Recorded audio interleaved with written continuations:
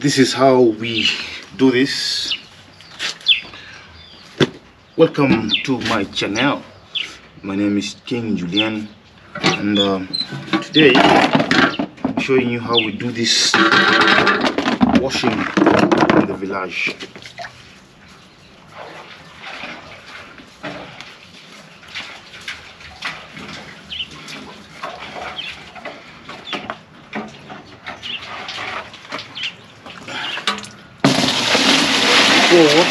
basin and you take it down again.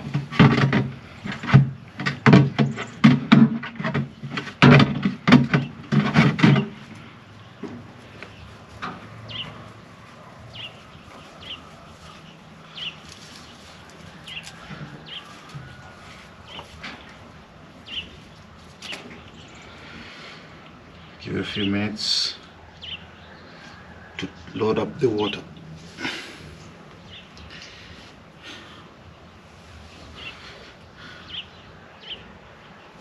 And when it's ready, you go ahead.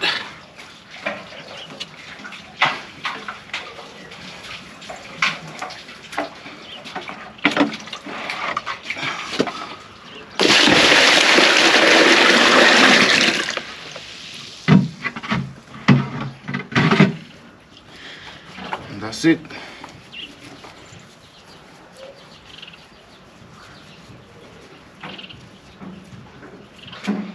Done.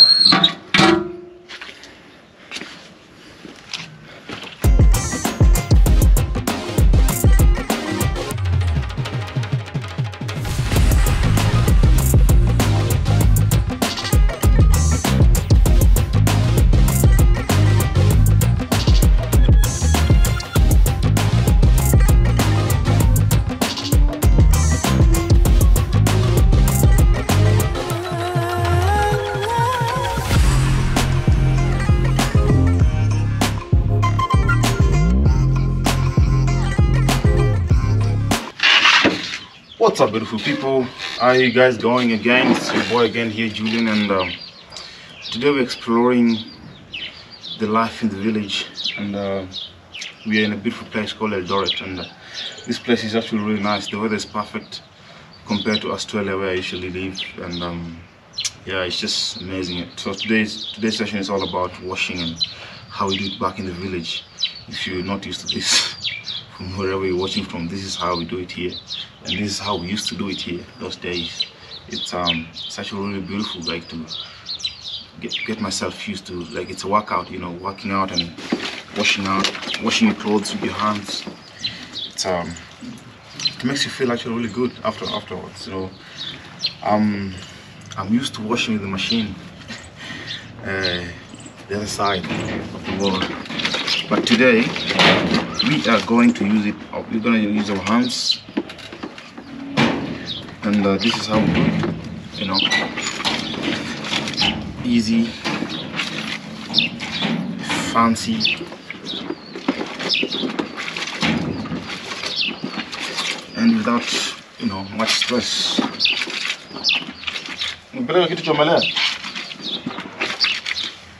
Um, so what we do, we just top it up and get the brush to wash um, other stuff. So usually it doesn't matter, but usually start with the cleanest to the dirtiest. But my clothes are pretty standard. The only dirty thing is socks, which I think I've, I don't think I've washed them for some time. They're actually a little bit stinky, um, unfortunately. Um, but whenever I'm in Australia, my my legs or my shoes don't stink. I don't know why, but I think because I walk a lot here. So here there's a lot of walking, there's a lot of activities moving around here than Australia. Australia, so we just um, uh, use cars most of the time, and um, and as, at the same time, it's not as dusty as this place. And because there's not there's not been rain, um, that's why it's it's a little bit you know a little bit dusty. Um, I'll show you around. i Show you around this place. So that's the place we are. You can see beautiful chickens around. It's a village. That's my sister's house. And that's the surrounding. There's a beautiful house over there. So beautiful, guys. Amazing. Um, so my sister used to plant corn over here. I don't know what she's doing with it. I can see maybe that's an avocado tree. Um, yeah, it's a little bit of a mess at the moment, but it's her place. She knows what to, to do with it. So when I left the place, that building was not there, and that place was not there four years ago, five years ago. But this is the place where we are today. Um, that's the place. That's the dog shed over there. That's the main entrance to the house. And there's another one at the back, and that's the gate. Um, yeah, pretty much uh, life in the village, and that's our. We call it kisima, or we can call it a well, depending on where you're from. Um, that's where we do our stuff. So I'll keep uh, watching as I give you stories about this place. This place was bought, I think, eight years ago, nine years ago, if I'm not wrong. And then, by that time, the land was a little bit cheap. So where I am now is called Eldoret. Wewe unatoka Eldoret, unajua hii place vizuri. Ni place inaitwa Eldoret, ni place imetulia. Kuna mambo mengi. Land sahii si expensive sana, but iko sawa. Um, pia mimi na hope siku moja naweza kubai kashake hii mtaa. Ni mtaa poa sana. Um, ile kitu inaharibu tu place ni siasa, but ni place poa sana. So um, yeah, I'm here to visit my family and awesome. It's beautiful. Um, yeah. So come kama wewe umependa topic yangu, if you like my content guys, click the subscription button. Tell me what you think about my tour in Africa. Um, in a short while, we'll be going to Uganda and Rwanda to to visit some friends over there. I hope you guys gonna come along with me. Um, that's my hope. Um, and I'll go and find out how the place look. Let's or look or see how the place is. Hopefully, it's gonna be fun when we go over there. But for now, we're exploring on how to survive in the village. Washing your hands after four years, after eight years, is it ten? Um, but I like it because tulikuwa tunaosha manguo kitambo, this is how we used to do it. Najua, this is how we used to do it. And it's- one of the reasons why we're doing this is because one, we can't afford um, the plumbing.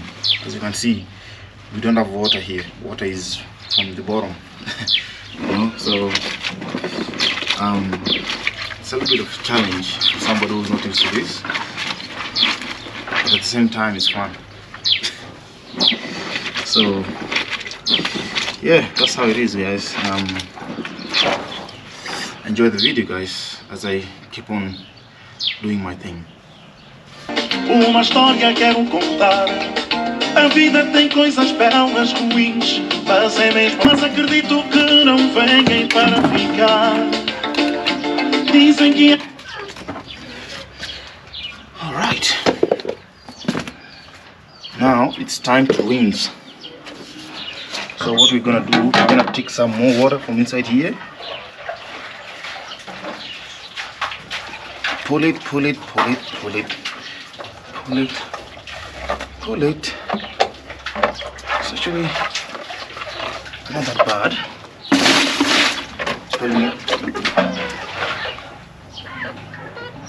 So point inside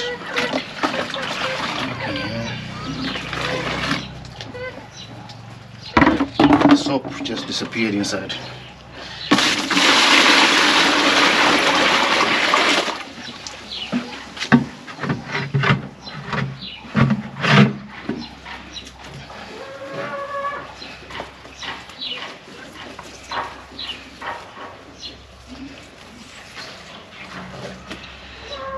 Oh, fucking hell. I just dropped soap inside the water now. It's gonna be shit. I hate that. I actually thought it was my phone. And uh, let me show you how deep this place is. Looks like. See? It's quite deep. It's way quite deep in there. Um, that's the uh, disadvantages of these things, man. So the uh, I feel bad because now, um, so what happens? The water they can use it to cook. Unfortunately, I don't think they drink it, but some some of them, some people drink it here. Unfortunately, um, yeah, um, yeah, it's not the best idea, really. Oh shit, I feel really bad. Drop the, I've dropped the um, soap inside there, so um, well, it is what it is. Um, I just need to explain to my sister the circumstances that have just happened at this very moment. Um, unfortunately, or fortunately, it's not me who fell in there. Um, but at the same time, it's, it's the water. It's, it's the it's the water, and that soap was actually quite big. So, um, I'm a little bit flabbergasted or ashamed at this point because I actually feel really bad, you know. In as much as it sounds funny, but you know, it's really, really, really sad that I've dropped soap in there, and this is the only source of water they are they, they have. But I think it should be fine. Um, yeah. So every time I come here, I get malaria. Um, and because of the weather and every and uh, and the water itself as well because the same water I'm using here is the same water we used to cook our food um, so usually what I usually do. I usually buy my own water to drink here. Um, and of course you can't trust the water you know so what happens is I get this malaria tablet that I take from Australia and I come with it here and I use it. I take it like I've taken it this morning. So I take it a week before I come and then I take a week after I'm here. And then I take every other week that I'm here which I've taken now three times because it's almost my third week now. Um, and it's pretty good. If you want to know what type of tablets I'm, I'm using to keep me out of malaria, let me know. I'll put on I'll put the description below. And this one is prescribed actually. Um, and it actually helped me a lot. A couple of days ago I was feeling a little bit sicky, you know, but I'm feeling alright. And of course it's because of just the weather change, the temperature and everything because um, as you know Africa is pretty warm. Um, yeah. Look at those guys. Catch one of them. Beautiful chickens. Yeah, my sister loves chickens. And uh, I do love chickens as well. Um, so it's um it's fun. It's fun being here, to be honest. And uh, I always look forward to coming back to Africa um, to visit my family and friends and do this kind of stuff, you know. Um, so what I'm doing actually is actually pretty much that I'm supposed to. Usually, many years ago, I never used to rinse this much, uh, just twice, but I just like it clean. Um, so the water that I'm using here is from the well. Unfortunately, the toilet is not far from here. Um, I'll show you in a bit where the toilet is, and uh, you can tell that it's not actually really healthy but because we have no choice this is this is life really and um, I'm not ashamed to say that we might be a little bit privileged privileged on those who don't have it. And uh, some people actually don't have it. This much water next to your house. So we are pretty lucky to be honest. So to have water like this you know. Um now that I've dropped my soap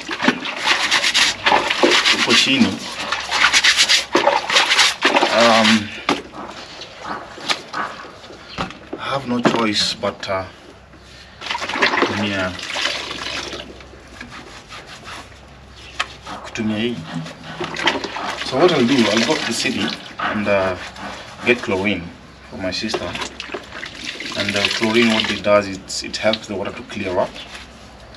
And I'll put it inside there so that they can actually use the water unfortunately because yeah, in a few years, in a few weeks of time, it's gonna be a little bit soppy, and um, I feel really bad.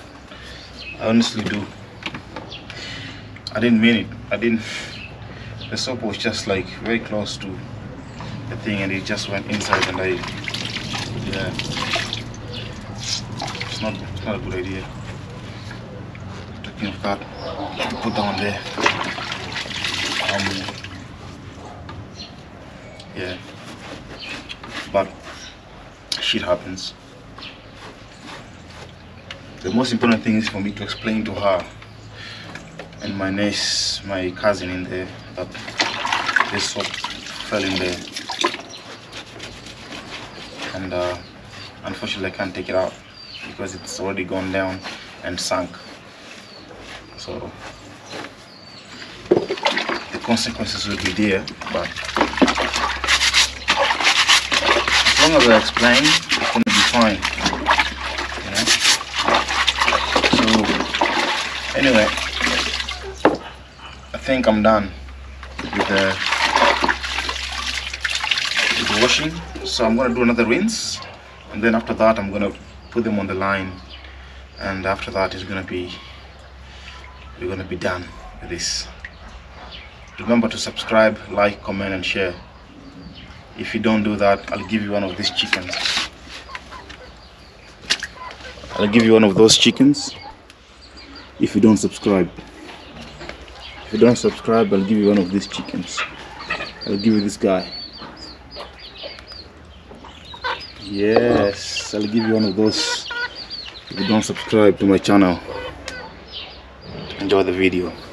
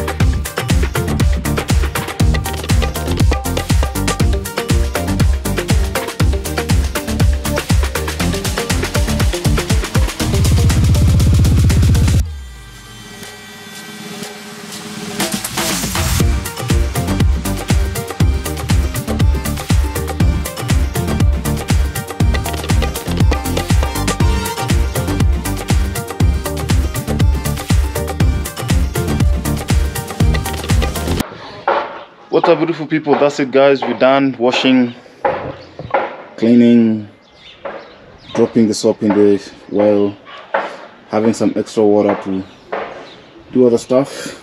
And the clothes are on the line, dripping slowly. And our basins are empty. the chickens are happy and everybody around is happy and um, that's the end of it i hope you enjoyed the video guys that was um, a pretty big workout for me and you guys. If you're planning to come and visit africa just remember you might go through this or you might not because not everyone can afford this and not everyone doesn't have to have this. So that means some people have it some people don't. And uh, but that's how we do it over here. And i hope that you guys have enjoyed the video i'm just gonna have to do some cleanup here and uh, make sure that this place is clean. And i hope that i don't mess up with this well again that i've dropped the soap in there. And um, it's been a it's been a good thing.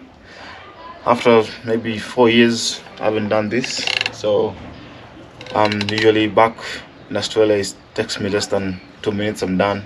Chuck the clothes in the washing machine and i'm done.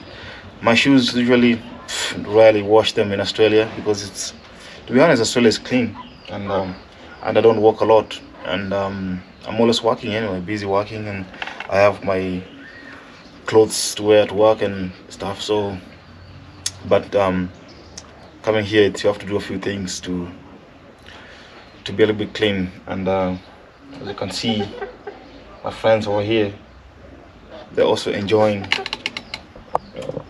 the extra water that we have. Um that's it for now. I'll wrap it up. Keep subscribing keep liking keep commenting. And this is the life in africa. Peace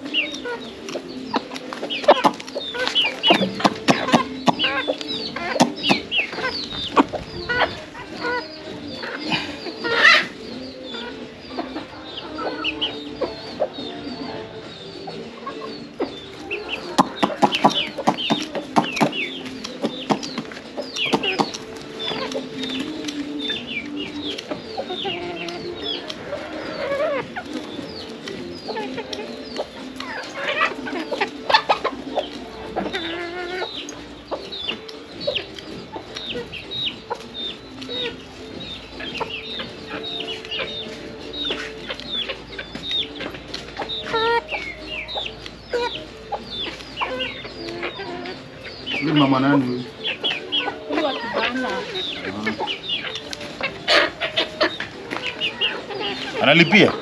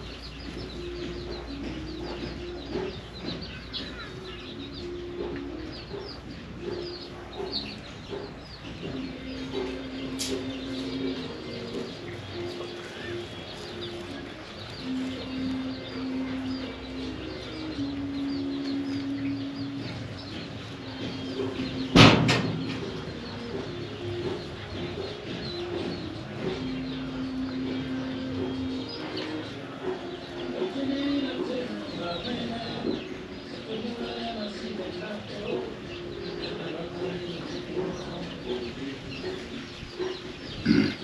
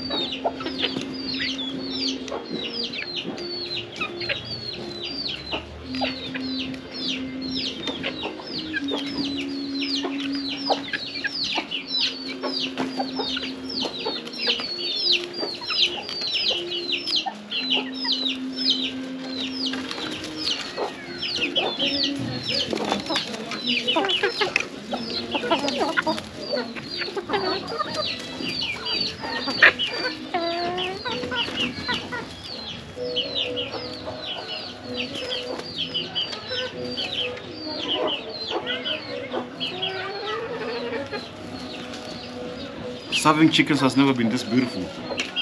Feeding chickens has never been this amazing. And that's how we feed the chickens here. Peaceful.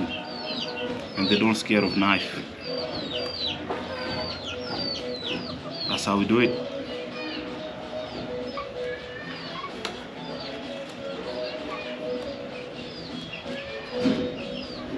Beautiful chickens.